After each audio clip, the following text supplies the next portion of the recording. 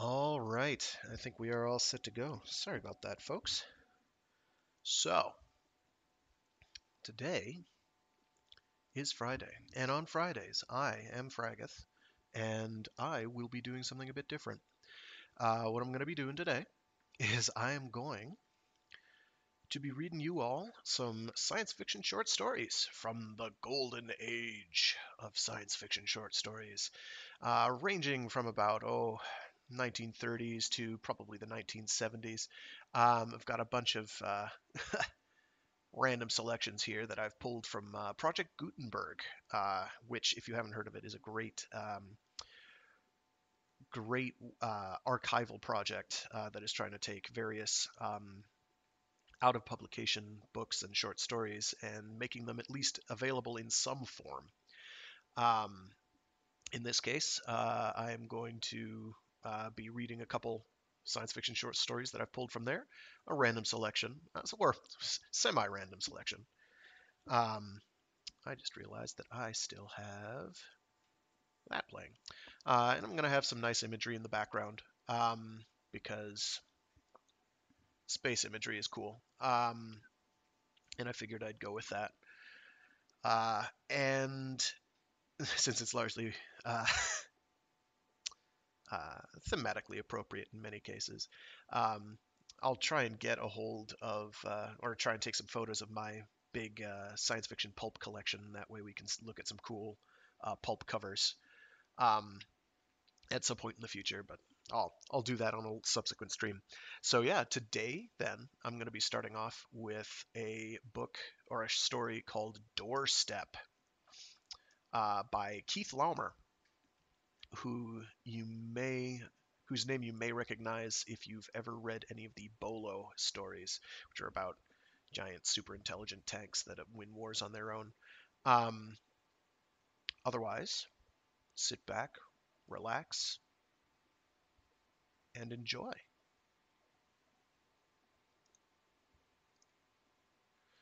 Doorstep by Keith Laumer. The general was bucking for his other star, and this miserable contraption bucked right back. I've got a little subtitle, it's really cute. Steadying his elbow on the kitchen table serving as a desk, Brigadier General Strout leveled his binoculars and stared out through the second floor window of the farmhouse at the bulky object lying canted at the edge of the woodlot. He watched the figures moving over and around the gray mass, then flipped the lever on the field telephone at his elbow. "How are your boys doing, Major?"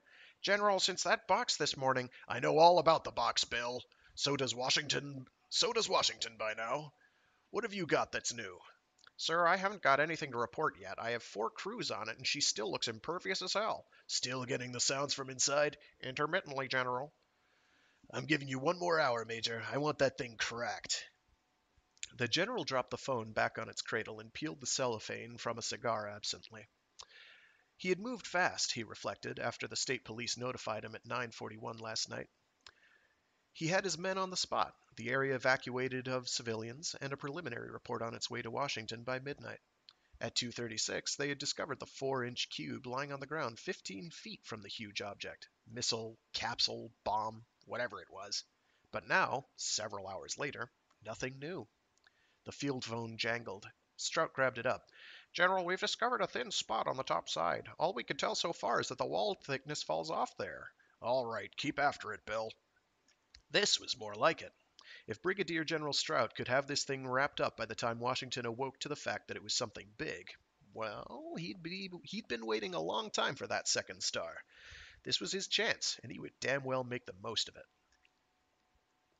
He looked across the field at the thing. It was half in and half out of the woods, flat sided, round ended, featureless. Maybe he should go over and give it a closer look personally. He might spot something the others were missing. It might blow them all to Kingdom Come any second, but what the hell? He had earned his star on sheer guts in Normandy. He still had 'em. He keyed the phone. I'm coming down, Bill, he told the major. On impulse, he strapped a pistol belt on. Not much use against a house sized bomb, but the heft of it felt good. The thing looked bigger than ever as the jeep approached it, bumping across the muck of the freshly plowed field. From here you could see a faint line running around just below the juncture of side and top. Major Greer hadn't mentioned that. The line was quite obvious. In fact, it was more of a crack. With a sound like a baseball smacking in, into the catcher's glove, the crack opened. The upper half tilted, men sliding. Then impossibly it stood open, vibrating like the roof of a house suddenly lifted. The driver gunned the jeep. There were cries and a ragged shrilling that set Strout's teeth on edge. The men were running back now, two of them dragging a third. Major Greer emerged from behind the object, looked about, ran toward General Strout, shouting, A man dead! It snapped! We weren't expecting it! Strout jumped about beside the men, who had stopped now and were looking back. The underside of the gaping lid was an iridescent black. The shrill noise sounded thinly across the field. Greer arrived, panting. What happened? Strout snapped.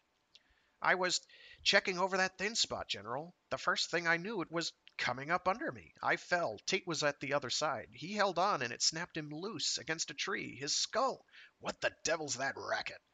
That's the sound we were getting uh, from inside before, General. There's something in there, alive. All right, pull yourself together, Major. We're not unprepared. Bring your half tracks into position. The tanks will be here soon. Strout glanced at the men standing about. He would show them what leadership meant. You men keep back, he said.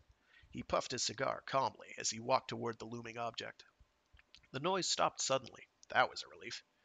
There was a faint and curious odor in the air, something like chlorine, or seaweed, or iodine. There were no marks in the ground surrounding the thing. It had apparently dropped straight into its present position. It was heavy, too. The soft soil was displaced in a mound a foot high all along the side. Behind him, Strout heard a yell. He whirled. The men were pointing. The jeep started up, churned towards him, wheels spinning. He looked up. Over the edge of the gray wall, six feet above his head, a great reddish limb, like the claw of a crab, moved, groping. Strout yanked the 45 from its holster, jacked the action, and fired. Soft matter spattered, and the claw jerked back. The screeching started up angrily again, then was drowned in the engine roar as the jeep slid to a stop. Strout stooped, grabbed up a leaf to which a quivering lump adhered, jumped into the vehicle as it leapt forward. Then a shock, and they were going into a spin, and.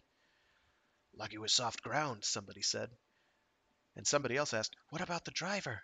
Silence. Strout opened his eyes. What about. A stranger was looking down at him, an ordinary looking fellow of about thirty five. Easy now, General Strout. You've had a bad spill. Everything is all right. I'm Professor Lieberman from the university. The driver, Strout said with an effort. He was killed when the jeep went over. Went over? The creature lashed out with a member resembling a scorpion stinger. It struck the jeep and flipped it.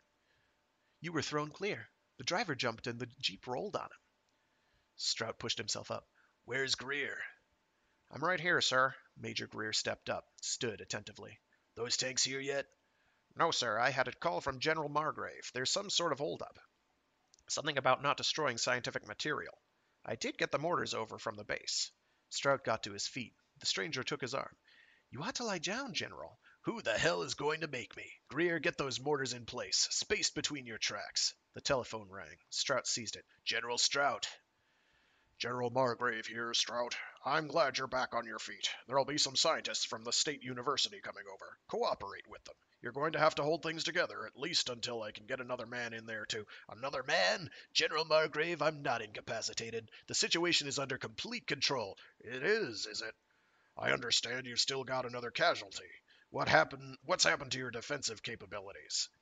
That was an accident, sir. The Jeep. We'll, redrew, we'll review that matter at a later date. What I'm calling about is more important right now. The code men have made some headway on that box of yours. It's putting out a sort of transmission. What kind, sir? Half the message, it's only 20 seconds long, repeated, is in English. It's a fragment of a recording from a daytime radio program. One of the network men here identified it. The rest is gibberish. They're still working over it. What? Bryant tells me he thinks there may be some sort of correspondence between the two parts of the message. I wouldn't know myself. In my opinion, it's a threat of some sort. I agree, General. An ultimatum. Right. Keep your men back at a safe distance from now on. I want no more casualties. Strout cursed his luck as he, held, as he hung up the phone. Margrave was ready to relieve him after he had exercised every precaution. He had to do something fast before this opportunity for promotion slipped out of his hands. He looked at Major Greer. I'm neutralizing this thing once and for all. There'll be no more men killed. Lieberman stood up. General, I must protest any attack against this Strout World. I'm handling this, Professor. I don't know who let you in here or why, but I'll make the decisions. I'm stopping this man killer before it comes out of its nest, maybe gets into that village beyond the woods. There are 4,000 civilians there. It's my job to protect them. He jerked his head at Greer, strode out of the room. Lieberman followed, pleading. The creature has shown no signs of aggressiveness, General Strout. With two men dead? You should have kept them back. Oh, it was my fault, was it? Strout stared at Lieberman with cold fury. This civilian pushed his way in here, then had the infernal gall to accuse him, Brigadier General Strout, of causing the death of his own men. If he had the fellow in uniform for five minutes. You're not well, General. That fall. Keep out of my way, Professor, Strout said. He turned and went down the stairs. The present foul up could ruin his career, and now this egghead interference. With Greer at his side, Strout moved out to the edge of the field. All right, Major, open up with your 50 calibers. Greer called a command, and a staccato rattle started up. The smell of cordite and the blue haze of gun smoke. This was more like it. He was in command here. Lieberman came up to Strout. General, I appeal to you in the name of science. Hold off a little longer, at least until we learn what the message is about. Get back from the firing line, Professor. Strout turned his back on the civilian, raised the glasses to observe the effect of the recoilless rifle.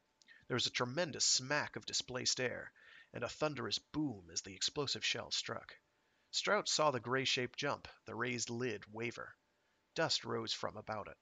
There was no other effect. Keep firing, Greer, Strout snapped, almost with a feeling of triumph. The thing was impervious to artillery. Now who was going to say it was no threat?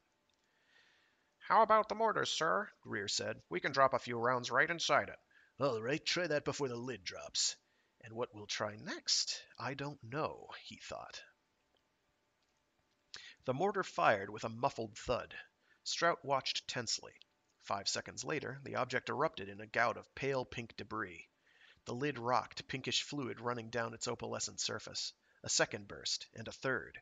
A great fragment of the menacing claw hung from the branch of a tree a hundred feet from the ship. Strout grabbed up the phone. Cease fire! Lieberman stared in horror at the carnage. The telephone rang. Strout picked it up. General Strout, he said. His voice was firm. He had put an end to the threat.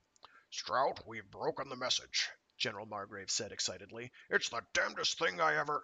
Strout wanted to interrupt, announce his victory, but Margrave was droning on. Strange sort of reasoning, but there was a certain analogy. In any event, I am assured the translation is accurate. Here's how it reads in English. Strout listened. Then he carefully placed the receiver on the hook. Lieberman stared at him. What did it say? Strout cleared his throat. He turned and looked at Lieberman for a long moment before answering. It said, Please take good care of my little girl. Well, and that was Doorstep by Keith Laumer. Kind of a sad end there. Well, one of those cute uh, twist endings where indeed the aliens are trying to communicate but having a bad time of it. Good stuff. Always, always a fun time. Uh, if, if maybe a little depressing, but maybe that's the point usually is in my experience. Nice, you know, Twilight Zonian sort of thing. All right. So next up, let me pull it up here. I have. Where are you? Sorry about this slight, slight delay.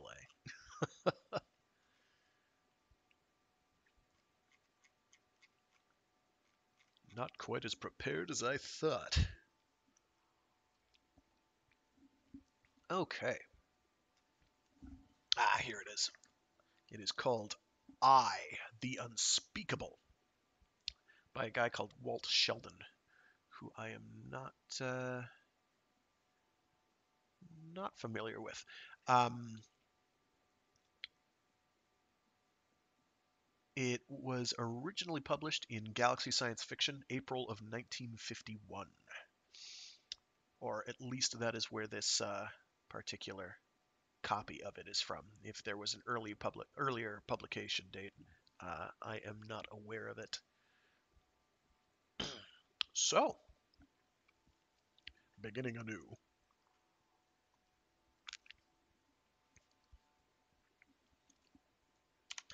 I, the Unspeakable by Walt Sheldon. I fought to be awake. I was dreaming, but I think I must have blushed. I must have blushed in my sleep. Do it, she said. Please do it, for me. It was the voice that always came, low, intense, seductive, the sound of your hand on silk. And to a citizen of Northern of Northam, a conformist, it was shocking. I was a conformist then. I was still one that morning. I awoke. The glow light was on, slowly increasing. I was in my living machine in Center 4, where I belonged, and all the familiar things were about me. Reality was back, but I was breathing very hard. I lay on the pneumo a while for before getting up. I looked at the chroner. 0703 hours, day 17, month 9, new century 3. My morning neuro tablets had already popped from the tube, and the timer had begun to boil an egg. The egg was there because the real food allotment had been increased last month. The balance of trade with South Southam had just swung a decimal or two our way. I rose finally, stepped to the mirror, switched it to positive, and looked at myself. New wrinkles, or maybe just a deepening of the old ones. It was beginning to show. The past two years were leaving traces. I hadn't worried about my appearance when I'd been with the Office of Weapons. There, I'd been able to keep pretty much to myself, doing research on magnetic mechanics as applied to the space drive. But other jobs, where you had to be among people, might be different. I needed every possible thing in my favor. Yes, I still hoped for a job, even after two years. I still meant to keep on plugging, making the rounds. I'd go out again today. The timer clicked, and my egg was ready. I swallowed the tablets, and then took the egg to the table to savor it and make it last. As I leaned forward to sit, the metal tag dangled from my neck, catching the glow light. My identity tag. Everything came back in a rush. My name, the dream, and her voice, and her suggestion. Would I dare? Would I start out this very morning and take the risk, the terrible, terrible risk? You remember renumbering. Two years ago, you remember how it was then, how everybody looked forward to his new designation, and how everybody made jokes about the way the letters came out, and how all the records were, for a while, fouled up beyond recognition. The telecomics kidded renumber bleh, the telecomics kidded renumbering. One went a little too far, and they psychoscanned him, and then sent him to Marscall as a dangerous non-conform. If you were disappointed with your new designation, you didn't complain. You didn't want a sudden visit from the deacons during the night. There had to be renumbering. We all understood that. With the population of Northam already past 2 billion, the old designations were too clumsy. Renumbering was efficient. It contributed to the good of Northam. It helped advance the warless struggle with Southam. The equator is the boundary. I understand that once there was a political difference, and that the two superstates sprawled longitudinally, not latitudinally, over the globe. Now they are pretty much the same. There is the truce, and they are both geared for war. They are both efficient states, as tightly controlled as an experiment with enzymes, as microsurgery, as the temper of a diplomat. Diplomat. We were renumbered, then, in Northam. You know the system. Everybody now has six digits and an additional prefix or suffix of four letters. State Leader, for instance, has the designation AAAA 111 slash 111. Now, to address somebody by calling off four letters is a little clumsy. We try to pronounce them when they are pronounceable. That is, no one says to State Leader, Good morning, AAAA. They say, Good morning, ah. Reading the last quote, I notice a curious effect. It says what I feel. Of course, I didn't feel that way on that particular morning. I was still conformal, The last thing in my mind was that I would infract and be psychoscanned. Four letters, then, and in many cases a pronounceable four letter word. A four letter word. Yes, you suspect already. You know what a four letter word can be. Mine was. It was unspeakable. The slight weight on my forehead reminded me that I still wore my sleep learner. I'd been studying administrative cybernetics, hoping to qualify in that field, although it was a poor substitute for a space drive expert. I removed the band and stepped across the room and turned off the oscillator. I went back to my egg and my bitter memories. I will never forget the day, the first day that I received my new four-letter combination and reported it to my chief as required. I was unthinkably embarrassed. He didn't say anything. He just swallowed and choked and became crimson when he saw it. He didn't dare press. He didn't dare pass it to his secretarial engineer. He went to the administrative circuits and registered it himself. I can't blame him for easing me out. He was trying to run an efficient organization, after all, and no doubt I upset its efficiency. My work was important. Magnetic mechanics was the only way to handle quanta reaction, or the so-called non-energy drive, and was therefore the answer to feasible space travel beyond our present limit of Mars. And there were frequent inspection tours by big wheels and very important persons. Whenever anyone, especially a woman, asked my name, the embarrassment would become a crackling electric field all about us. The best tactic was just not to answer. The chief called me in one day. He looked haggard. Er, old man, he said, not quite being able to bring himself to utter my name. I'm going to have to switch you to another department. How would you like to work on nutrition kits? Very interesting work. Nutrition kits? Me? On nutrition kits? Well, I. Uh, know it sounds unusual, but it justifies. I just had the Cybes work it over in the light of present regulations, and it justifies. Everything had to justify, of course. Every act in the monthly report had to be covered by regulations and cross regulations. Of course, there were so many regulations that if you just took the time to work it out, you could justify damn near anything. I knew what the chief was up to. Just to remove me from my post would have taken a year of applications and hearings and innumerable visits to the capital in Center 1. But if I should infract, deliberately infract, it would enable the chief to let me go, the equivalent of resigning. I'll infract, I said. Rather than go on nutrition kits, I'll infract. He looked vastly relieved. Ah, fine, he said. I rather hoped you would. It took a week or so. Then I was on non productive status and issued an NP book for my necessities. Very few luxury coupons in the NP book. I didn't really mind at first. My new living machine was smaller, but basically comfortable, and since I was still a loyal member of the state and a verified conformist, I wouldn't starve. But I didn't know what I was in for. I went from bureau to bureau, office to office, department to department, any place where they might use a space drive expert. A pattern began to emerge, same story everywhere. When I mentioned my specialty, they would look delighted. When I handed them my tag and they saw my name, they would go into immediate polite confusion. As soon as they recovered, they would say they'd call me if anything turned up. A few weeks of this, and I became a bit dazed. And then there was the problem of everyday existence. You might say that it's lucky to be an NP for a while. I've heard people say that. Basic needs provided, worlds of leisure time. On the surface, it sounds attractive. But let me give you an example. Say it is monthly real food day. You go to the store, your month already your mouth already watering in your anticipation. You take your place in line and wait for your package. The distributor takes your coupon book and is all ready to reach for your package. And then he sees the fatal letters NP, non-producer, a drone, a drain upon the state. You can see his stare curdle. He scowls at the book again. Not sure this is in order. Better go to the end of the line. We'll check it later. You know what happens before the end of the line reaches the counter. No more packages. Well, I couldn't get myself off NP status until I got a post, and with my name, I couldn't get a post. Nor could I change my name. You know what happens when you try to change something already on the records. The very idea of wanting change implies criticism of the state. Unthinkable behavior. That was why this curious dream shocked me so. The thing that it suggested was quite as embarrassing as its non standard emotional provocative tone.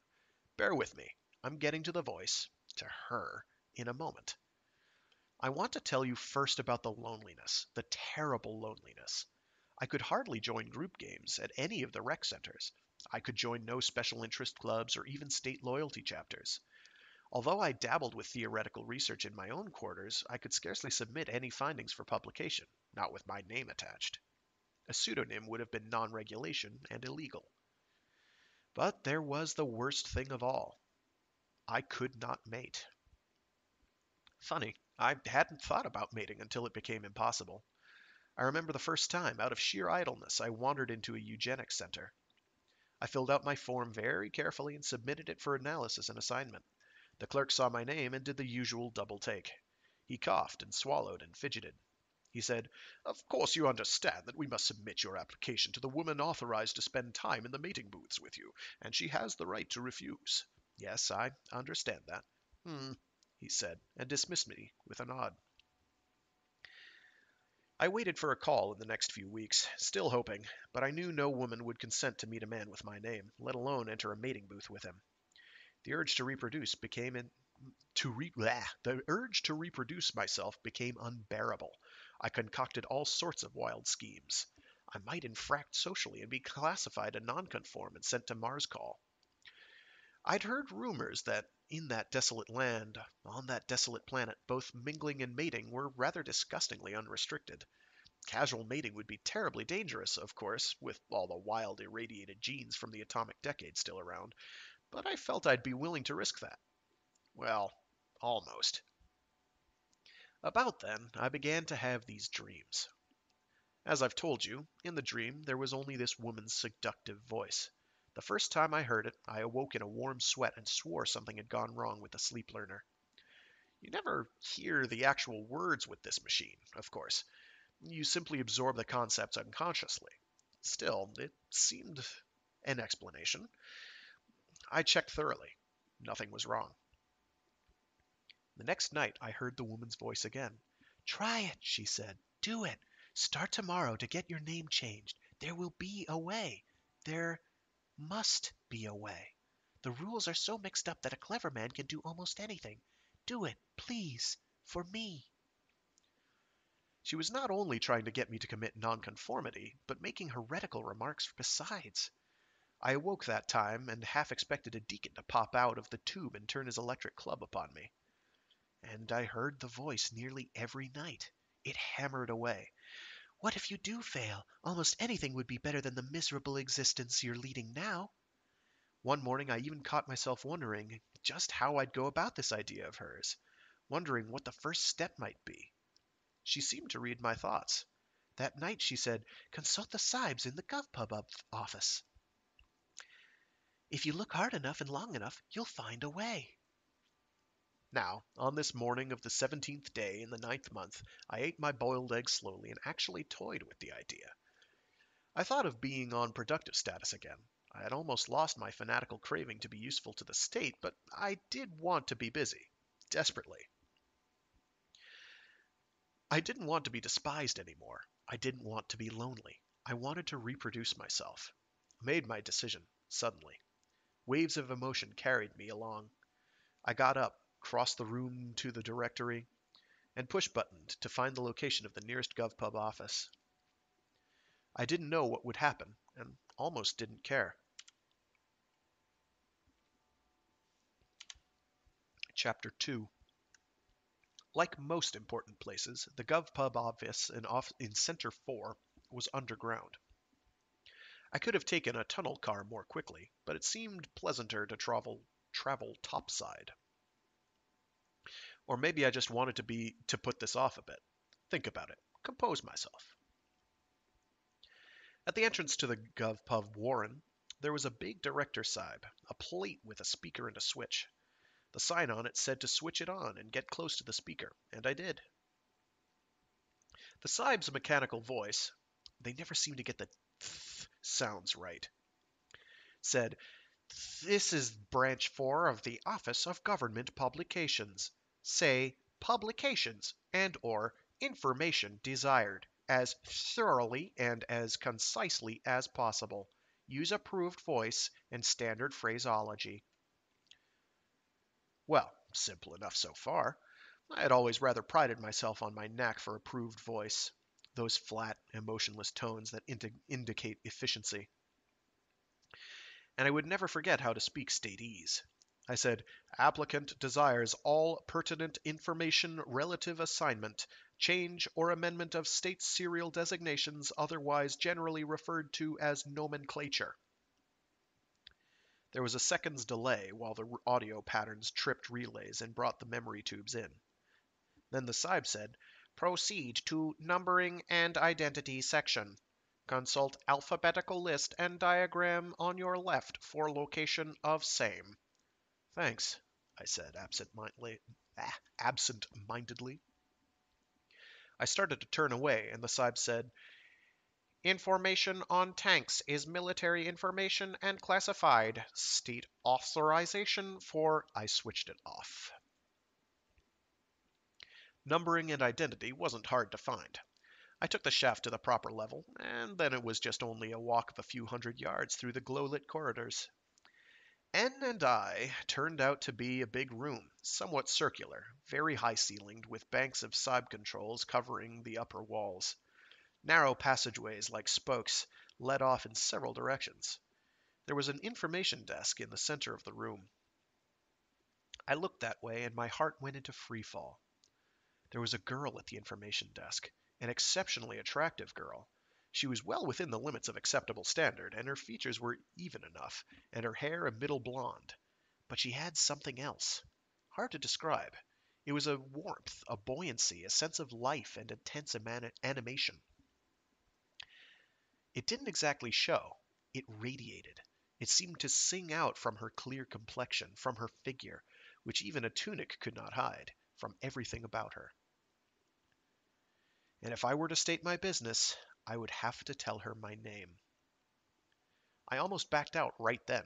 I stopped momentarily, and then common sense took hold, and I realized that if I were to go through this with this thing, here would be only the first of a long series of embarrassments and discomforts. It had to be done. I walked up to the desk, and the girl turned to face me, and I could have sworn that a faint smile crossed her lips. It was swift, like the shadow of a bird across one of the lawns in one of the great parks topside. Very non-standard. Yet I wasn't offended. If anything, I felt suddenly and disturbingly pleased. What information is desired? she asked. Her voice was standard. Or was it? Again, I had the feeling of restrained warmth. I, lo- I used colloquial. I want to get the dope on state serial designations, how they're assigned, and so forth, especially how they might be changed. She put a hand steno on the desktop and said, Name? Address? Post? I froze. I stood there and stared at her. She looked up and said, Well? I, uh, no post at present. NP status. Her fingers moved on the steno. I gave her my address and she recorded that. Then I paused again. She said, And your name? I took a deep breath and told her. I didn't want to look into her eyes. I wanted to look away, but I couldn't find a decent excuse to. I saw her eyes become wide and noticed for the first time that they were a warm gray, almost a mouse color. I felt like laughing at that irrelevant observation, but more than that, I felt like turning and running. I felt like climbing and dashing all over the walls like a frustrated cat and yelling at the top of my lungs. I felt like anything but standing there and looking stupid, meeting her stare. She looked down quickly and recorded my name. It took her a little longer than necessary. In that time, she recovered. Somewhat. All right, she said finally. I'll make a search. She turned to a row of buttons on a console in the center of the desk and began to press them in various combinations. A typer clicked away. She tore off a slip of paper, consulted it, and said, Information desired is in Bank 29. Please follow me. Well, following her was a pleasure, anyway. I could watch the movement of her hips and torso while she walked. She was not tall, but long legged and extremely lithe, graceful and rhythmic. Very, very feminine, almost beyond standard in that respect. I felt blood throb in my temples and was heartily ashamed of myself. I would like to be in a mating booth with her, I thought, the full authorized 20 minutes. And I knew I was unconformist, and the realization hardly scared me at all. She led me down one of the long passageways. A few moments later, I said, Don't you sometimes get, well, pretty lonely working here? Personal talk at a time like this wasn't approved behavior, but I couldn't help it. She answered hesitantly, but at least she answered. She said, Not terribly. The Sibes are company enough most of the time. You don't get many visitors, then? Not right here. N and I isn't a very popular section. Most people who come to GovPub spend their time researching in the ancient manuscript room, the uh, social habits of the pre-atomic civilization. I laughed. I knew what she meant, all right. Pre-atomics and their ideas about free mating always fascinated people. I moved up beside her. What's your name, by the way? L A R A 339 slash 827. I pronounced it. Lara. Lara. That's beautiful. Fits you, too. She didn't answer. She kept her eyes straight ahead, and I saw a faint, the faint spot of color on her cheek. I had a sudden impulse to ask her to meet me after hours at one of the rec centers. If it had been my danger alone, I might have, but I couldn't very well ask her to risk discovery of a haphazard, unauthorized arrangement like that, and the possibility of going to the psychoscan. We came to a turn in the corridor, and something happened. I'm not sure just how it happened. I keep telling myself that my movements were not actually deliberate. I was to the right of her. The turn was to the left. She turned quickly, and I didn't, so that I bumped into her, knocking her off balance. I grabbed her to keep her from falling. For a moment we stood there, face to face, touching each other lightly. I held her by the arms. I felt the primitive warmth of her breath. Our eyes held together. Proton. Electron. I felt her tremble. She broke from my grip suddenly and started off again. After that, she was very businesslike. We came, finally, to the controls of Bank 29, and she stood before them and began to press button combinations. I watched her work. I watched her move. I had almost forgotten why I'd come here. The lights blinked on and off, and the typers clacked softly as the machine sorted out inter- information. She had a long printed sheet from the roll presently. She frowned at it and turned to me. You can take this along and study it, she said, but I'm afraid what you have in mind may be a little difficult. She must have guessed what I had in mind. I said, I didn't think it would be easy. It seems that the only agency authorized to change a state serial under any circumstance is OPSYC. OPSYC? You can't keep up with all these departments. The Office of Psychological Adjustment. They can change you if you go from a lower to higher EAC. I don't get it exactly. As she spoke, I had the idea there was sympathy in her voice, just an overtone. Well, she said, as you know, the post a person is qualified to hold often depends largely on his emotional adjustment category. Now, if he improves and passes from, let us say, grade 3 to grade 4, he will probably change his place of work.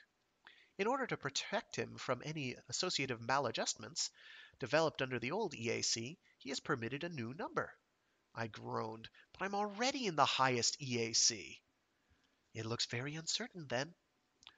Sometimes I think I might be better off in the mines or on Mars Call or in the hell of the pre-atomics. She looked amused.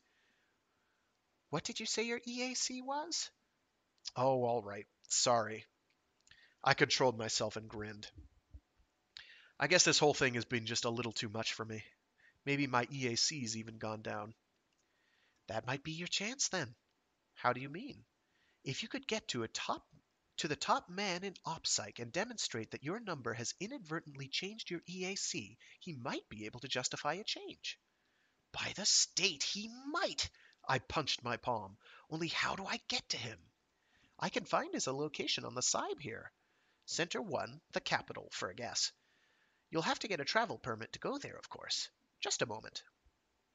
She worked at the machine again, trying it on general data. The printed slip came out a moment later, and she read it to me. chief, OPSYCH, was in the capital all right. It didn't give the exact location of his office, but it did tell how to find the underground bay in Center 1 containing the OPSYCH offices. We headed back through the passageway, then, and she kept well ahead of me. I couldn't keep my eyes from her walk, from the way she walked, with everything below her shoulders. My blood was pounding at my temples again. I tried to keep the conversation going. Do you think it'll be hard to get a travel permit? Not impossible. My guess is that you'll be at Travbur all day. Tomorrow, even maybe the next day. But you ought to be able to swing it if you hold out long enough. I sighed. I know. It's that way everywhere in Northam. Our motto ought to be, why make it difficult when with just a little more effort you can make it impossible? She started to laugh, and then, as she emerged from the passageway into the big circular room, she cut her laugh short. A second later, as I came along, I saw why. There were two deacons by the central desk. They were burly and had that hard, pinched faced look, and wore the usual black belts. Electric clubs hung from the belts. Spidery looking pistols were at their sides. I didn't know whether these two had heard my crack or not. I know they kept looking at me. Lara and I crossed the room silently, she back to her desk, I to the exit door. The deacon's remote, disapproving eyes swung the azimuth, tracking us. I walked out and wanted to turn and smile at Lara, and get into my smile something of the hope that someday, somewhere, I'd see her again. But of course, I didn't dare.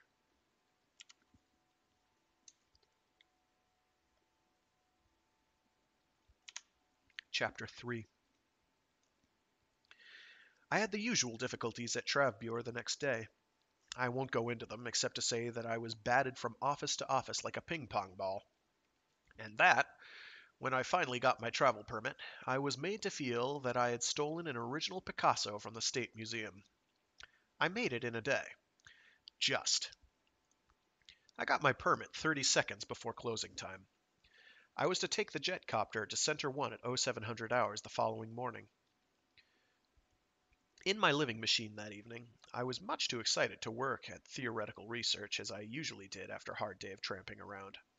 I bathed, I paced a while, I sat and hummed nervously, and got up and paced again. I turned on the telepuppets. There was a drama about the space pilots who fly the nonconformist prisoners to the forests and pulp acetate plants on Mars.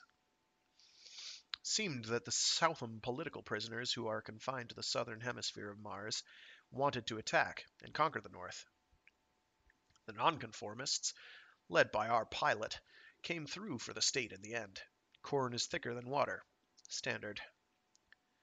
There were, however, some good stereofilm shots of the limitless forests of Mars, and I wondered what it would be like to live there in a green, fresh smelling land. Pleasant, I supposed, if you could put up with the no doubt revolting morality of a prison planet and the drama seemed to point out that there was no more security for the nonconformists out there than for us here on Earth. Maybe somewhere in the universe, I thought, there would be peace for men. Somewhere beyond the solar system, perhaps, some day when we had the means to go there. Yet instinct told me that wasn't the answer either. I thought of a verse by an ancient pre-atomic poet named Hoffenstein. People had unwieldy random combinations of letters for names in those days. The poem went, Wherever I go, I go too, and spoil everything. That was it. The story of mankind. I turned the glow light down and lay on the pneumo after a while, but I didn't sleep for a long, long time. Then, when I did sleep, when I had been sleeping, I heard the voice again, the low, seductive woman's voice, the startling, shocking voice out of my unconscious. You have taken the first step, she said. You are on your way to freedom. Don't stop now. Don't sink back into the lifelessness of conformity. Go on, on and on. Keep struggling, for that is the only answer. I didn't exactly talk back, but in the queer way of the dream, I thought objections. I was in my thirties, at the midpoint of my life, and the whole of that life had been spent under the state. I knew no other way to act. Suppressing what little individuality I might have was, for me, a way of survival. I was chock full of prescribed, stereotyped reactions, and I held on to them even when something within me told me what they were. This wasn't easy, this breaking away, not even this slight departure from secure, camouflaged norm. The woman, Lara, attracts you, said the voice. I suppose at that point I twitched or rolled in my sleep. Yes, the voice was right. The woman Lara attracted me, so much that I ached with it. Take her. Find a way. When you succeed in changing your name and know that you can do things, then find a way. There will be a way. The idea at once thrilled and frightened me. I woke, I woke writhing and in a sweat again. It was morning. I dressed and headed for the jetcopter stage and the ship for Center 1. The ship was comfortable and departed on time, a transport with seats for about 20 passengers. I sat near the tail and moodily busied myself watching the gaunt brown earth far below. Between centers there was mostly desert, only occasional patches of green. Before the atomic decade, I had heard, nearly all the earth was green and teemed with life. Birds, insects, animals, people too. It was hard rock and sand now, with a few scrubs hanging on for life. The pre-atomics, who hadn't mastered synthesization, bleh, synthesization, would have had a hard time scratching existence from the Earth today. I tried to break the sad mood and started to look around at some of the other passengers. That was when I first noticed the prisoners in the forward seats. Man and woman, they were, a youngish, rather nondescript couple, thin, very quiet. They were manacled, and two deacons sat across from them. The deacons' backs were turned to me, and I could see the prisoners' faces. They had curious faces. Their eyes were indescribably sad, and yet their lips seemed ready to smile at any moment. They were holding hands, not seeming to care about this vulgar emotional display. I had the sudden, crazy idea that Lara and I were sitting there, holding hands like that, nonconforming in the highest, and that we were wonderfully happy. Our eyes were sad too, but we were really happy, quietly happy, and that was why our lips stayed upon the brink of a smile. I sighed. My mood was just as sad, if not sadder, than it had been before. Later, in the rest room, I had a chance to talk to one of the deacons guarding these two. I was washing my hands when he came in, and he nodded to me briefly and said, Nice day for a flight. He seemed pleasant enough. More than I would expect a deacon to be. He was tall and blond and rather lithe. His shoulders sloped forward like a boxer's. Taking those prisoners to Center 1? I asked. He nodded. Yup. Habitual nonconforms. About as bad as they come. What did they do? He chuckled lasciviously. Kept meeting each other in the rec centers. Didn't know they were being watched. We nabbed 'em topside after they'd gone out in the desert together. What happens to them now? Mars call? They'd be lucky, brother, if that was only it. Oh, we'll ship 'em to Mars sooner or later, but first, they got to be interviewed. You mean for reclassification? No, just interviewed. We do it routine with everybody we pick up now, especially morals cases. That's how we crack down on other nonconforms. They got a regular organization, you know. They have? Sure. They're all Southern, Southam spies. Trying to weaken us for an attack, that's all. I can spot 'em a mile away. I frowned and cleared my throat a little. Wouldn't you think that any spies would try to act as normal as possible and not call attention to themselves by infracting morally? He put a big finger on my chest. Listen, you got no idea. I see these buzzards in operation all the time. I know what goes on. Of course, I'm sure you do. I kept the sarcasm out of my voice, but it was a struggle. The finger tapped my chest, once to every word, it seemed. We interview 'em all. Some of 'em, they really got nothing to tell us, and the interview kind of breaks 'em. Know what I mean? But we got to do it. If we only get dope on other nonconforms from one out of ten, we figure we didn't waste our time. You mean these interviews of yours are a form of torture? He gave me a hard eye and said, We don't call it that, brother. We don't call it that. Of course, I said again, and went back to washing my hands.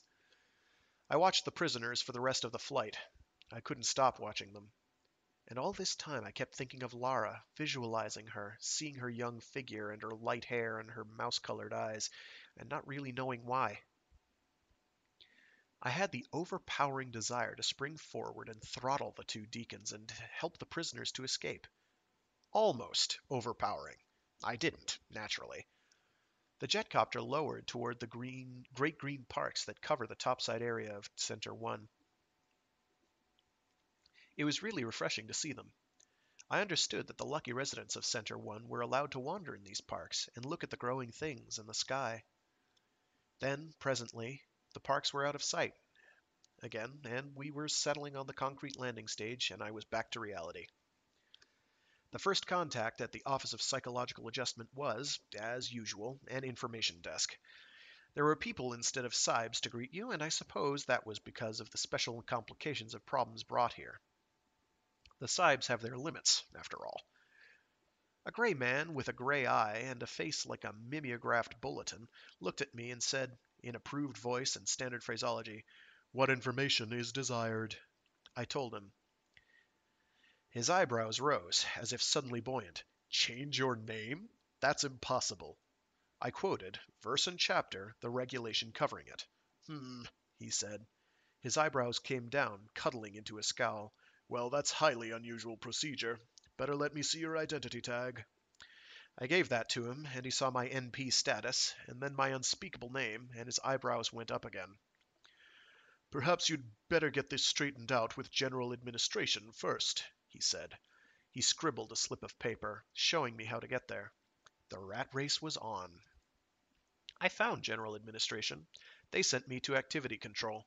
Activity Control said they couldn't do a thing until I was registered. I went to registration. Registration said, oh, no, I shouldn't have been sent there, although they'd try to direct me to the proper office if I got an okay from Investigation and Security. I&S said the regulation I quoted had been amended, and I would have to f- have the amendment first. And I could find that in records. Records sent me back to the first place to get a search permit and so on. I kept at it doggedly. Toward the end of the day, my legs ached and head felt like a ball of granite. I discovered that OpPsych had nearly as many levels and tunnels and bays as Center 4 in its entirety. And I had taken the intercom cars when possible. But most of it had been walking. I tightened my jaw and pulled my stomach in. I'd get to see the chief if it took me a year. That was hyperbole, of course. No man could last a year walking those dim, monotonous, aseptic corridors. How can I describe the feeling? The corridors are the same wherever you go. The glow light comes steadily, unblinkingly, from the walls. The color is a dead oyster white. There is always the feeling of being lost, even when you know, or think you know, exactly where you are. It was near the end of the day, and I was back at the information desk. You again, said the gray man with the gray eye. Records say I need a search permit. I have to find an amendment on the regulation covering my case. Why don't you just give up? You're causing us a great deal of trouble, you know. We have other works to do, important work. So have I. I'm a magnetic mechanics expert. I could be working for the state right now if I could get a post. I can't get a post till my name's changed. That's ridiculous. I agree, but it's true just the same. Well, here's your search permit, but I think you'd be wiser to forget it. And you'd save us a lot of fuss. I leaned across the desk. You could save the whole organization a lot of fuss if you direct me to the chief's office. Then I could take my case up with him directly. I've been keeping my eye open for it, but I can't find it anywhere. And of course, nobody will direct me there, even if they know where it is. He stared at me with mild horror. Go direct to the chief's office without going through channels? Well, that's what I had in mind. Then you'd better get it out of your mind. That's pretty dangerous thinking. That's close to infraction. All right, I sighed. I'll do it the hard way. I took the search permit and went back to records. I was still searching for the amendment when closing time came. I went back to the dim white corridors and found a food mat got some nutri- neutro pills, and reviewed my day. The workers here in Center 1 were experts at putting you off. They were much more skillful than the officials in Center 4. Maybe that was why they were in Center 1. Maybe I never would wear them down. That thought came along and forced a ball of ice right in the bottom of my stomach. I had to think. I had to think and rest. Real air and a night breeze would help. I found a shaft and went topside. I started walking along a winding trail in the great park. The stars were out. They were diamonds, ground to dust, and thrown carelessly across the black velvet of the sky. The moon had not yet risen. There was a breeze, cool and light, and it brought temporary sanity. At least it helped me realize I was tired. I came to a little brook, and instead of crossing the footbridge, I turned and followed the brook upstream. It led through groves of trees, and presently I found a little clearing where the bank sloped gently and was covered with soft moss. At the water's edge, the bank and a rock formation made a kind of overhanging ledge, and I sat on this a while and stared at the water, liquid silver, tumbling below. Finally, I moved up the bank a little, wrapped my cloak around me, and lay down. I looked at the stars. I wondered which one might be Mars. It was red, I'd heard, but I saw nothing like that. Probably it wasn't visible now. I got to thinking about Mars, and I got to thinking about the prison colony there, and then I got to thinking about the primitive life, and then free mating. That made me think of Lara, and her firm body and long, clean limbs and blonde hair and mouse colored eyes. I drifted off to sleep. Lara stayed with me. She stepped into my dream. It was a wonderful dream. Her voice, when she broke from standard, was thrilling and delicious. It was linked with the tumbling of the brook somehow. She was warm and vibrant in my arms. She was alive, so alive. She was all movement. We were laughing together, and I awoke to the sound of shooting. The moon had risen, and the broad glades were silver green, and the trees were casting shadows. Voices were barking back and forth within the woods. Over that way, called one. Cut him off! Cut him off! yelled another. A man and woman, both entirely naked, both speckled with wounds and bruises, all standard in questioning, stumbled into the clearing. Their eyes were wild, big for their faces. They were thin. They gasped for breath. They looked around them, rats in mazes, and then saw me. They drew back. This way! called a voice from the wood. Another shot rang out. I stared at the man and woman, still too surprised to know what to do or say. They were the two prisoners I had seen in the jet copter on my way to Center 1.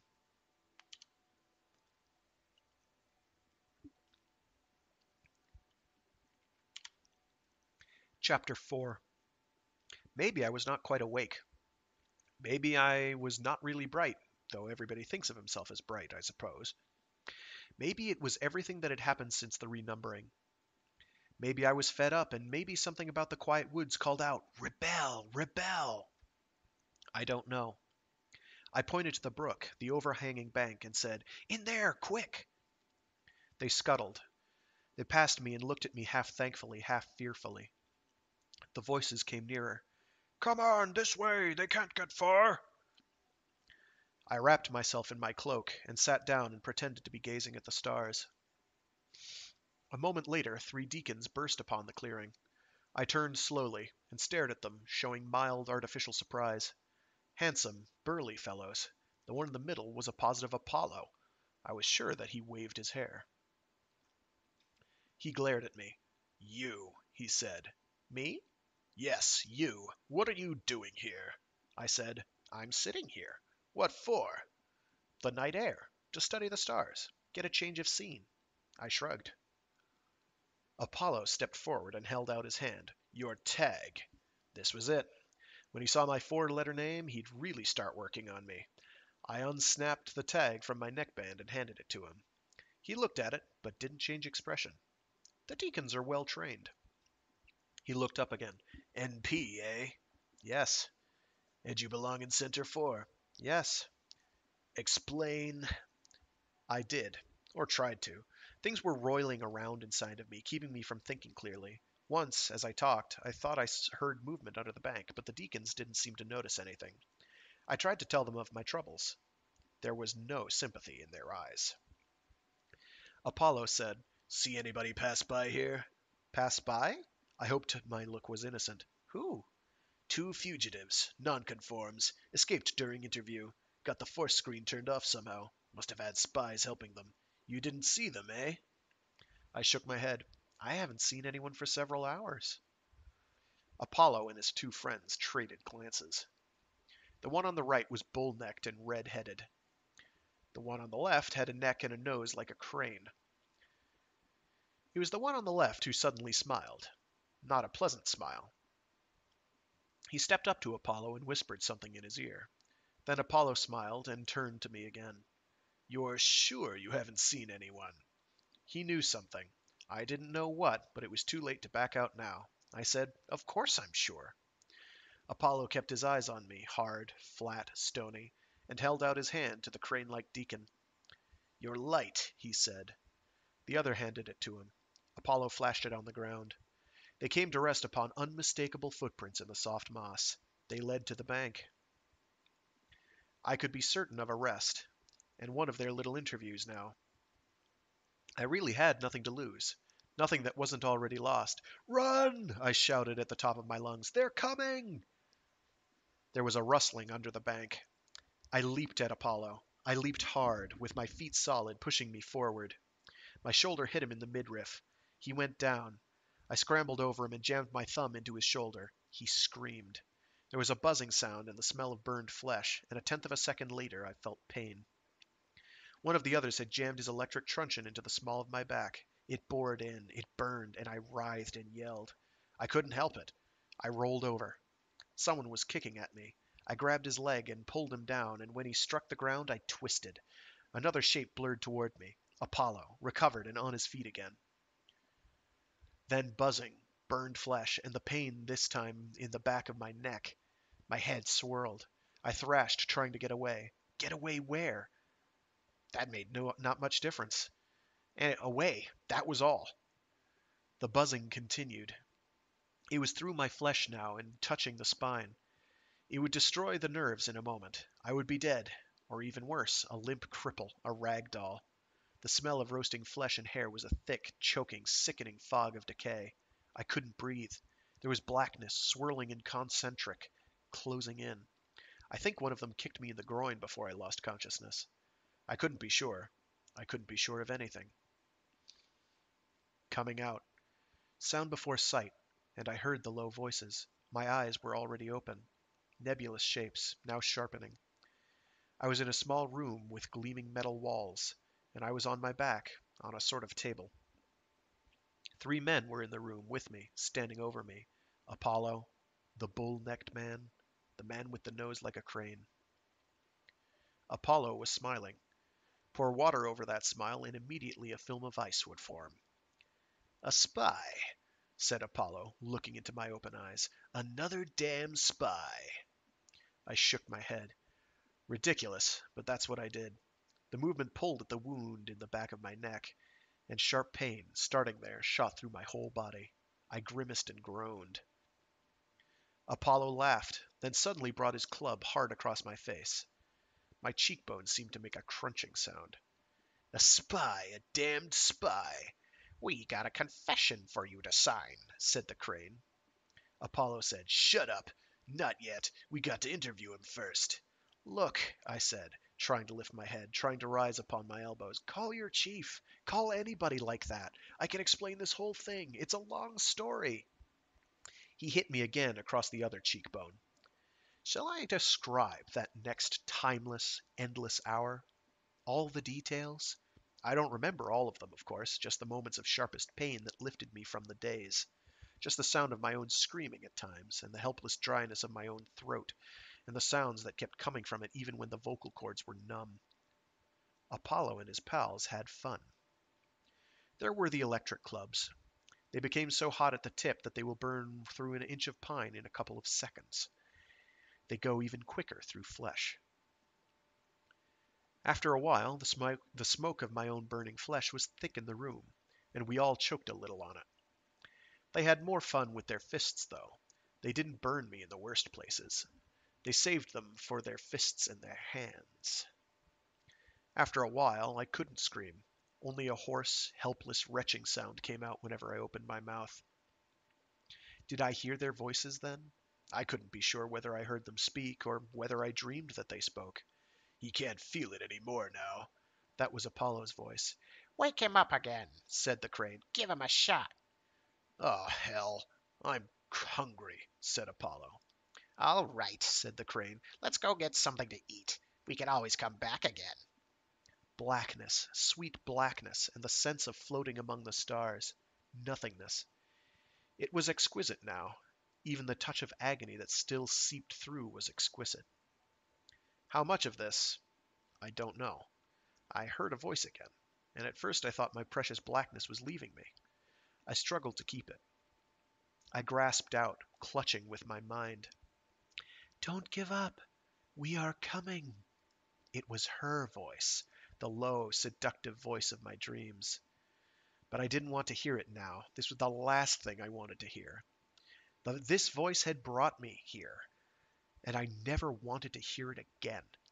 No matter what they say, no matter what they offer you or tell you, don't give up. I fought it off. I drove it away by sheer mind power. Either that or it stopped of itself. I didn't know and I didn't care. All I wanted was peace and blackness again if I could find it. And then, after a while, I was awake, truly awake, and I knew this because I ached and burned all over. I could scarcely move. I lay on the table like thing and stared at the gleaming metal ceiling, not really seeing it. How do you feel? said somebody. I turned my head. The somebody was sitting beside me. He was a man of about fifty, thick set and gray haired, with skin that looked like fine porcelain. His eyes were blue, and they seemed able, intelligent. He was not exactly smiling, but his expression was pleasant. Poised, that was the word. Here was a man who would quietly control things wherever he would go. I said, Lousy. And you? Ghost of a smile. Sorry you had to go through it. We pick the deacons because they're sadistically inclined. That makes for efficiency in the long run. Some people suffer, of course, but it's for the common good. I didn't say anything. If I had, it would have been insulting, unreasonable, blasphemous, obscene, and treasonable. So I didn't say anything. I just kept staring at him. He continued to smile. I'm NJKF 177349, Chief of the Office of Psychological Adjustment. I'm usually simply Chief. I want you to consider me your friend. Within the limits of the state good, that is. I still didn't say anything. Yours is quite a case, and of course I understand it. I think I had a quick insight into it the moment I spotted the arrest report on you. You're really lucky I happened to go through the arrest reports a little while ago and got to you before the three deacons who interviewed you returned. They were going to interview you some more. Yes, I'm very lucky. My voice was flat, lifeless. He leaned back easily in the chair. For all that he was thick set, he was graceful. He was handsome. His head and deep, pleasant voice, and the cut of his porcelain features, all were handsome. Trust in me, said this handsomeness. I am a father to all men. Naturally, we want to excuse your actions, and all the infractions you have committed in your rather desperate struggle for escape from your situation. Of course, we'll have to reevaluate your emotional adjustment category. It must be very low by now. And I think I'll be able to assign a new name to you, and have it justify. Funny, here was the thing I'd sought and fought for, and now I had it, and this was the end of the long fight, and I didn't feel triumphant at all. I didn't even feel pleased. Funny. The chief said, You can undoubtedly, undoubtedly find a post suitable to a lower EAC. You can work your way up again. At least you'll be on productive status and have all the privileges that go with it. Yes, I said. Yes, I suppose so. So there's really nothing to worry about now, is there? No, I suppose not. There's just one little thing I'd like to go into before I take the steps necessary to get you on your feet again. Even his magnificent poise couldn't conceal the feather touch of slyness then. One little thing? I asked. The pain was with me again. My body wasn't flesh, it was all raw, clinging pain. We'll have to know who started you on your little quest. Who influenced you to try and have your name changed? I said, I don't understand what you're talking about. He looked patient, smilingly patient. It's rather obvious, you know. You wouldn't have acted as you did purely on your own impulses. I know that because I signed up for your master file and after I saw the report of the arrest. Up until two days ago, your actions have always been satisfactorily conformal. A man doesn't change overnight like that without some sort of external influence. But there wasn't any, I protested. I mean, nobody told me to do anything. Nobody real. He chuckled. Come now, you don't expect me to believe that, do you? After all, I deal with cases like this quite often. You're not the only one who has tried to upset the efficiency of the state. There's a pattern in these things, my friend. Almost invariably, we find that a deliberate influence has gone to work on our infractor. There's a dangerous, organized underground movement that spends its time bringing these things about.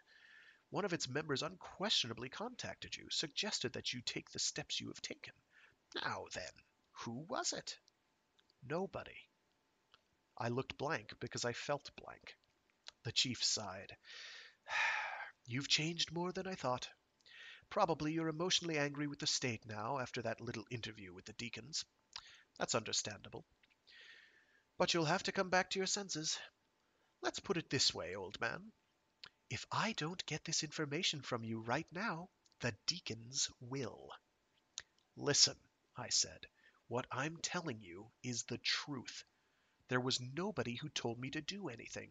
There was, well, there was a kind of voice that used to come into my dreams a woman's voice. It suggested, in my dreams, that I go ahead and try to get my name changed. That's all. He wasn't smiling anymore. Do you really expect me to believe that? It's the truth, I tell you. It's the truth. Perhaps whoever influenced you did it subtly. Perhaps you never even realized it. Think back now. Who helped you? Who departed from standard and gave you any kind of aid? Realization came like a cold wash. There had been help. Lara. She had gone out of her way back there in N&I. She had been warm and real, and she had dropped the mask of efficiency. Could it have been with a purpose? No matter. Guilty or innocent, if I mentioned her name, she would be interviewed. I didn't want that to happen to Lara. I shook my head and said, No one helped me. I did it all myself. You've got to believe that. I don't, said the chief, and got up. He looked at me for just a moment before he turned away. He said, The boys will be able to have their fun after all. I suppose it's just as well. It keeps their morale up to be able to re- interview somebody once in a while. No, you can't! You can't send them in here again, I shouted, without meaning to. I struggled to rise and found that I was strapped to the table. No! No! He was standing at the doorway to the room. He held a key box oscillator in his hand, and I knew that a force screen held me in the cubicle here, and that without a key box I could beat my head forever against that invisible barrier and never pass through that doorway. He said, I'll give you one hour to decide. I'll be back. I'll ask you if you're ready to talk. If you aren't, well, you'll talk to the deacons instead of me. The key box hummed, and he walked through the doorway and turned and disappeared. I stared after him and fought back my sudden nausea.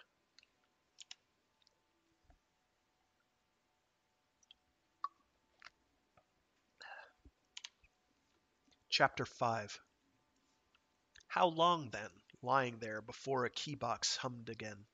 I didn't know. My time sense had been dulled. Even the pain was dull now.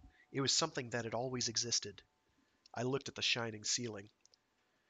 The glow lights began to dim, and I supposed that since my arrest in the park, another day had passed. Most of all, I wondered. Something had happened to me, something that I could almost feel as a physical change, but I didn't know quite what it was. I knew its results. I knew that I was no longer standard, no longer conformal, no longer well behaved and moral and an efficient, useful citizen of the state. I hated the state. I hated all states. I hate all efficiency and common sense and hate. It suddenly came to me that I didn't care whether I was in North, Northam or Southam, or which of them ruled the world. I lay there. And presently a key box hummed, and I didn't even look that way. The stink of my own burning flesh still clung to my nostrils, the dull pain was still with me, but I didn't care. It was too much. When horror becomes too great, It stops being horror. The mind is smart. It doesn't believe. It doesn't register. The curve of sensation flattens out, stops almost. When such horror looms, you go on doing whatever you are doing. I was lying there, so I went on lying there. Don't speak, whispered a voice. Don't ask questions. Something fumbled at the straps. I turned my head, and two people were in the room. They were thin, and their eyes were overlarge, and they were naked and covered with bruises. The fugitives of the park last night. What are you doing here? Finger to the lips. That was the man. He was taking the straps from my legs. The woman was releasing my arms and shoulders. But, shh! That was the woman. In a moment they had me free. I started, confidently, to rise, and the pain streaked through me like a powder rocket. They helped me. I stood there, amazed that I could stand. They helped me go forward. I took several dizzy steps, and after that it wasn't as bad. We moved through the doorway. There was no force screen. The man held the key box. He pressed it as we moved away to bring the force screen into place once more. I said, Where are we? I was shushed again. We went through the corridors, dead oyster white corridors. I walked as though through a sea of marshmallow. Time sense was gone again, and we were pushing on and on, and there was no end in sight, and we had already forgotten the beginning. We took an automatic shaft to another level and walked more corridors. Once we passed an opening, and tunnel cars filled with people roared past. I had a flash glimpse of them. They sat there staring straight ahead, wearing the efficient expressions of good workers. State corpses. Suddenly we emerged into the dark. It was the dark of night, but after the tunnels it was practically sunrise. The air was clean. No, it was not actually as clean as the conditioned air below. It was more than clean. It was alive. We were on the edge of a great concrete paved area. About a hundred yards ahead, a massive, shining, fat needle rose into the air and squatted there against the stars. It was a spaceship in its launching cradle. There were low buildings near it, a few floodlights, and people standing around. It took a moment to realize that the men walking up and down and along the groups of people, the men with rifles on their shoulders, were guards. Luck now. That's all we need. A little luck, said the thin man beside me. It was the first time I had heard his voice. It was a low voice. He spoke with emotion. It was not a proved standard. The woman moved beside him and put her hand upon his arm. I said, May I talk now? He turned to me, smiling. The smiling had something of that sadness I had first noticed when he sat a prisoner in that jetcopter. You want an explanation, don't you? Of course you do. But I'm afraid I can't tell you very much, except that we were sent to get you. Sent? By whom? How did you have the key box? And he laughed. Wait, one question at a time. I was a force screen technician before, before we were arrested. Cells are the same everywhere. I know how to short the screens out from the inside. It's troublesome, but it can be done. That's how we escaped the first time. Then they discovered we were gone, chased us, and you gave us our second chance. We came here to the rendezvous. There were six here, including our elected leader. Then we told the leader what had happened. She arranged for us to return, find you, and help you to escape. It wasn't any problem to lift a key box from the rack where they're usually kept. I felt as though I had been put upon the edge of a huge oscillating spring. I said, The leader? She? You'll meet her, he said. After blastoff, you'll meet her. Right now, our problem is to slip in amongst those prisoners without being seen. Among the prisoners? Haven't time to explain more. You'll have to trust us. Until you, unless you want to stay here and have the deacons hunt you till they find you. He was right. Wherever I was going, I had to go. I couldn't go back now. Ever. I said, I trust you. Let's go. Slipping in wasn't really difficult. There were only one or two guards for each group of prisoners, and they were looking for someone to escape, not join their flock. Some of the prisoners were dressed, some naked. Some looked bruised and beaten, some did not. It all depended on whether they had been questioned. They all looked dull eyed, resigned. They paid remarkably little attention as we moved in among them and stood there. The guards began to call out orders presently, and the groups shuffled forward, and then single lines moved up the ramp and into the spaceship. The thin man and his woman were still with me. They don't bother to count, he whispered, so we won't be noticed. I wanted to ask him other questions, but we were divided into groups, and they weren't in mind. Minutes later, I found myself in the vast hull, sitting on one of the tiers that hold the seats vertical when the ship is tail-based for blast off. It was very dim here, and I couldn't readily make out the faces of the people on the same tier with me. A loudspeaker came to life, a deep, impersonal voice. Fasten your webbings carefully. I did that, and heard the rustling sounds of about me as the others did it too. Stand by for blast off. There was a dead pause, then a sudden low, throbbing roar, and the feeling of life in the floor plates and the bulkheads. I felt the slightest weight of pressure against the seat. The seat began to tilt slightly. Suddenly, a soft voice on my left spoke. We're on our way. They can't stop us now, can they? It was the same low, provocative woman's voice that I had heard in my dreams. I whirled my head.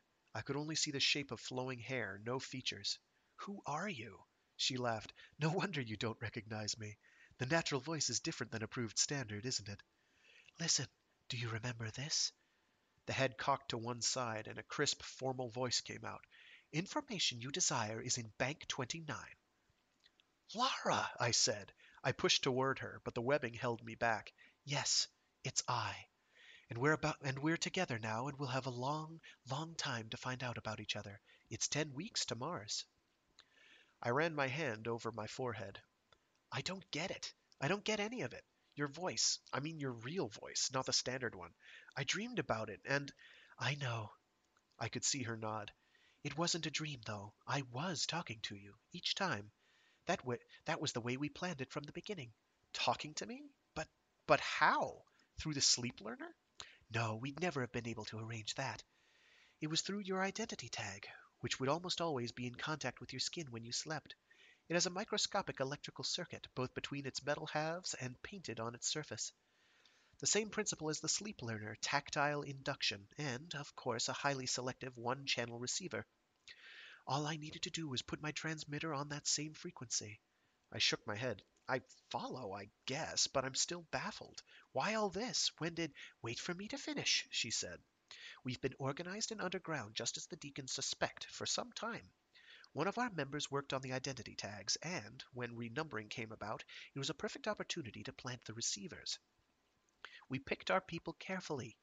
We picked doctors and hydroponic experts and chemists and rocket pilots, and we picked you because of your knowledge of space drive theory. Someday we'll go on to the stars. Someday you'll help us do that. Anyway, all these people we've picked, or most of them, are joining us on Mars. That's where mankind will begin again while Northam and Southam spit and glare at each other across the equator and wait for war. But Mars, there's an equator there too. She laughed. Northam and Southam prisoners there mingle all the time. There aren't enough guards to notice it or stop it if it if they did notice it. There have been even there have even been hundreds of intermarriages. Marriages? You mean like the pre-atomics? Exactly. But we'll get to that later.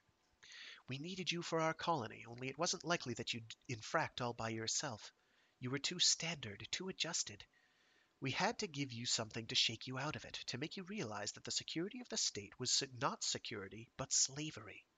And so one of our members in the renumbering bureau arranged for you to have that four letter word of yours for a name. One thing led to another, then, not always exactly as we'd planned it, but always in the same general direction. Our whole plan nearly failed when the deacons nabbed you in the park. Fortunately, I'd come along to stow away on this ship, on this trip, and I sent those others back after you. But what if I'd actually managed to get my name changed? The ship was swaying now, balanced on its rocket trail. The acceleration was increasing.